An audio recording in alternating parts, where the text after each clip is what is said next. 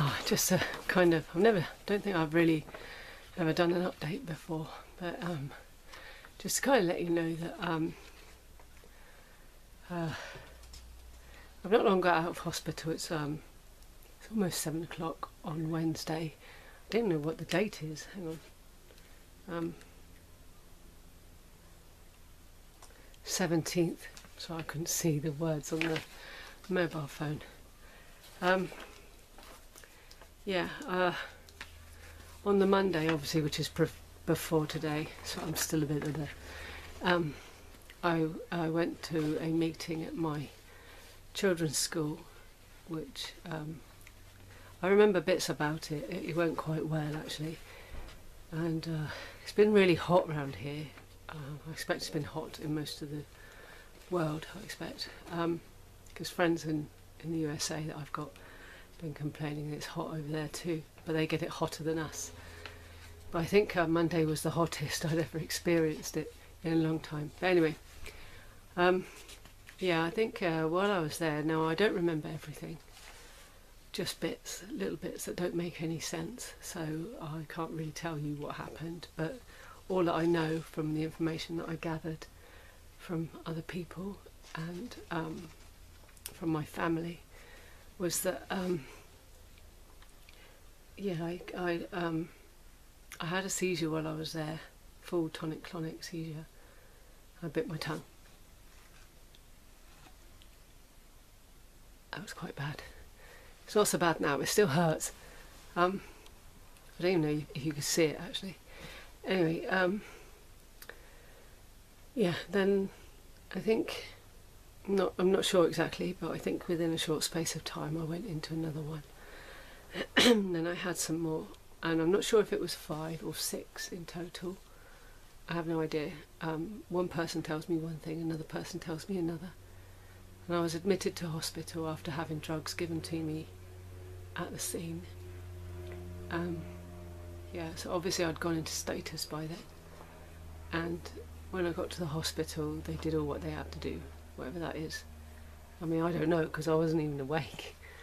Um, yeah, and basically, I've got no real memory of what, what actually happened. But I woke up the next day a bit to find myself on a ward, and I was quite annoyed actually because normally I like to go home straight away because um, if it's one seizure, I can cope with that. I can get home, sleep it off, and I'll be okay. But obviously, I couldn't. Couldn't even get up. Um, and all I did all day was sleep. And this morning, um, I didn't really eat anything yesterday either because I was just too tired and my, I wasn't hungry.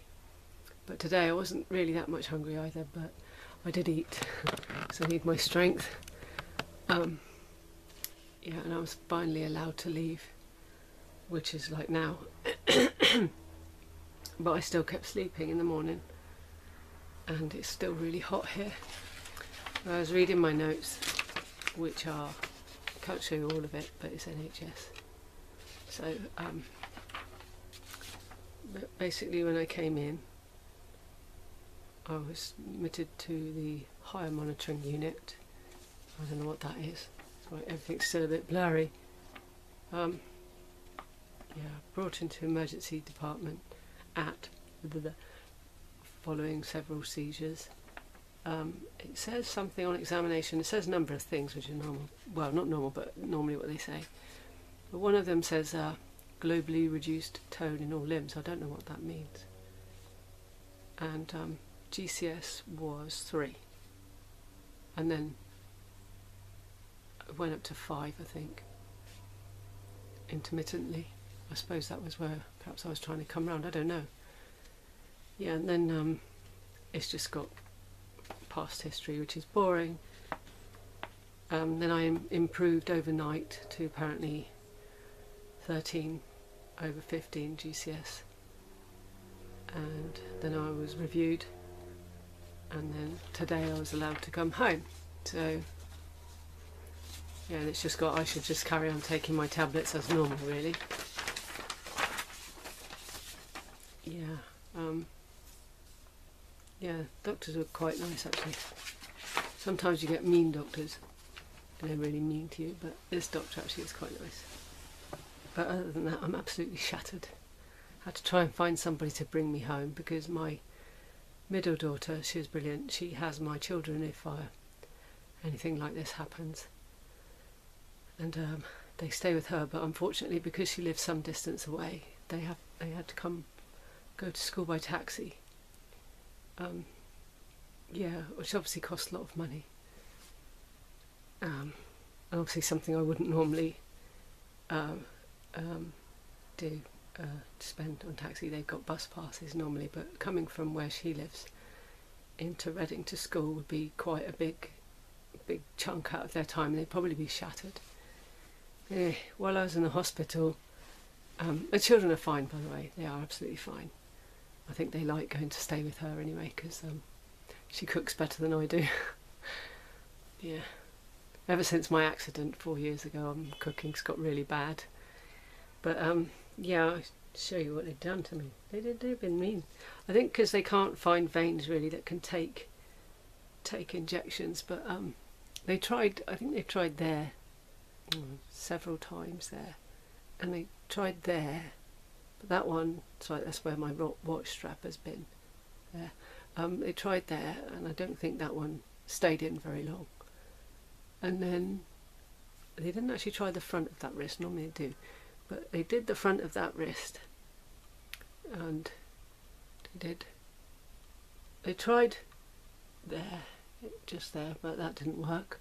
I think my veins just kind of see the needle coming and run and hide. So it's probably really difficult for them to administer drugs, but they did manage to get some in that one there.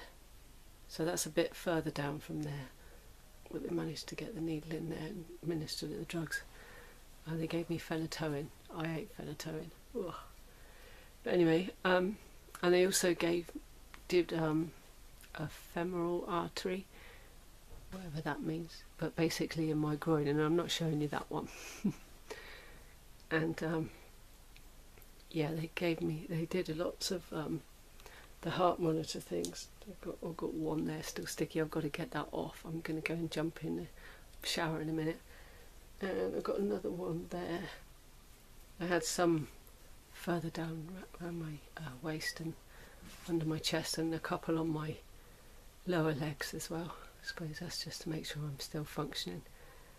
Um, yeah, and then I've got bite marks, not just that way, not just there, but there as well.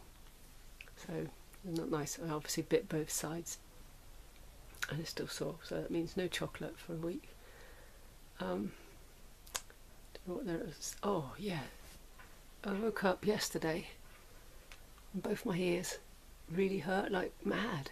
I just drew my hair back because my hair was a mess yesterday because obviously I wasn't able to wash it, but my ear lobes, ah, they'd obviously been pinching them to get response, which is where they, like my GCS, glucose, uh, something, Glasgow coma scale or something, to tell what level of consciousness you're at. Um, obviously, it was quite low because I didn't feel that or that one. And then they also, I got um, like sore shoulders as well, which they'd obviously been pinching there too. But um, yeah, it's no fun having epilepsy. Don't like it at all. I don't like. I mean, I don't often go into status, not normally. But because this happened again and there's no apparent reason, I think it was the heat. But then again, saying that, I missed my tablets about two days ago. But I've done that before, two days. Ended up with a few bloopy ones, not big ones, but just bloopy ones, and then been okay. But this time, I don't know if that had the knock on effect of having a full blown one, or whether it was the heat, or whether it was the heat and the missing. It was only one dose. It was an evening dose, and those are the ones that normally I miss, if anything, because sometimes I, I, I, fall asleep and I forget them. Um, but there's no no foolproof way of making sure that I actually take them. Kids are normally quite good at reminding me, but I can't rely on them always because um, it's not fair. Um, but yeah, it just means now I'm going to have another EEG. my hair is going to be full of this stuff by the time they finish. While I was in the hospital as well, they did a CT scan, um, CAT scan. I think I'm not sure when when that was exactly. I think that might have been the first the first day I was admitted. But um, I remember pointing out to the doctor today when he came to see me before they discharged me that I had a fracture here and it had been there for four years and four years is since my accident and it was only discovered in March. March was when I went for a dental x-ray because I still get problems with my jaw sometimes from the accident and they happened to just have that all that whole picture and in that picture was the the fracture. And it's quite obvious as well. It's quite a nice VW sort of zigzag um, crack, and it's quite um, well on the on the picture on the X-ray. It looks quite wide. And uh, the the dentist then asked me, "Have you been getting visual problems since?" And I said, "Yes, I've been having visual problems for four years, but nobody seemed to take me seriously, like I was imagining it or something." post-traumatic.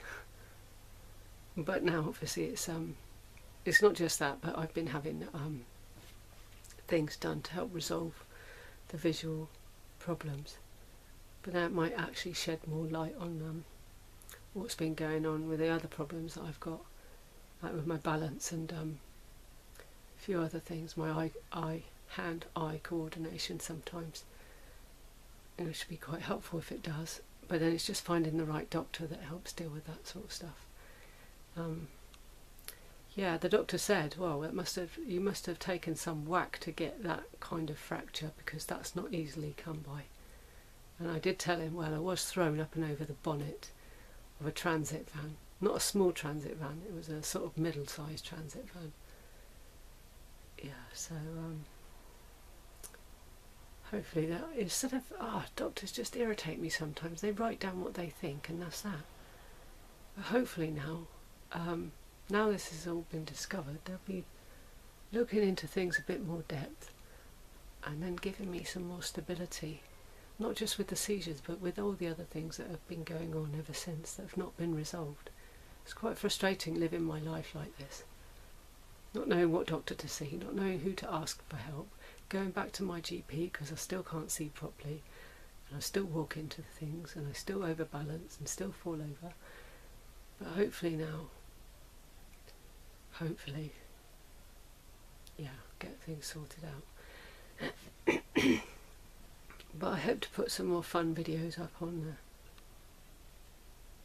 the, on um, YouTube soon. I've got a few on my camera, but to be honest, I'm a bit too tired at the moment to to do them. So you just have to wait a few days. They're already on the um, SD card. It's just a matter of me preparing them really. Uh, I hope you like the latest one. Uh, that was quite funny. That was hard work but that was quite funny. Me and my son both own that video.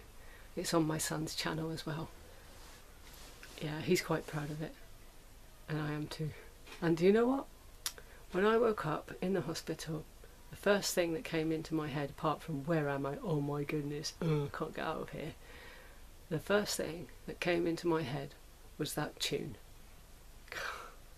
the amount of times I had to listen to that to uh, to sort of know what movements we should do, even though it was still random, um, what movements we should do for the video.